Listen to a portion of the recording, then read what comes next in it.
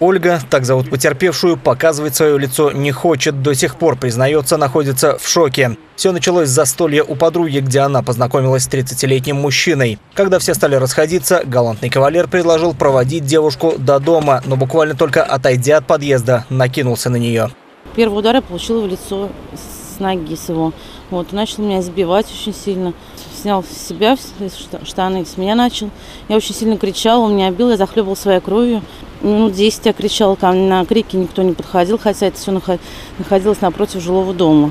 На мольбы девушки не делать этого насильник не реагировал. Сил сопротивляться, рассказывает Ольга, уже не было. Как вдруг появился молодой человек. Леонид Савкин возвращался домой с работы. Как только услышал крики, бросился на помощь. Не разбираясь, я его одной рукой приподнял, отшвырнул сюда. Ее просто сюда отодвинул, потому что площадка была побольше. Понимаю, что по-любому будет потасовка, что-то завернется. В этот момент он вскочил, одел штаны и начал на меня намахиваться.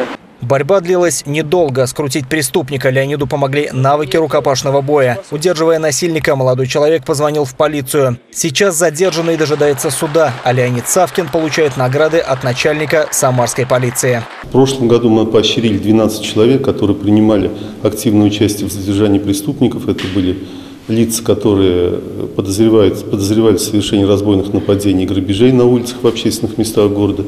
О том, что всю ночь провел в отделении полиции, давая показания, вместо того, чтобы дома отмечать день рождения, Леонид не жалеет. Говорит, что не мог оставить человека в беде. Героем себя не считает, но уверен, на его месте так поступил бы каждый настоящий мужчина. Павел Баймаков, Максим Гусев. События.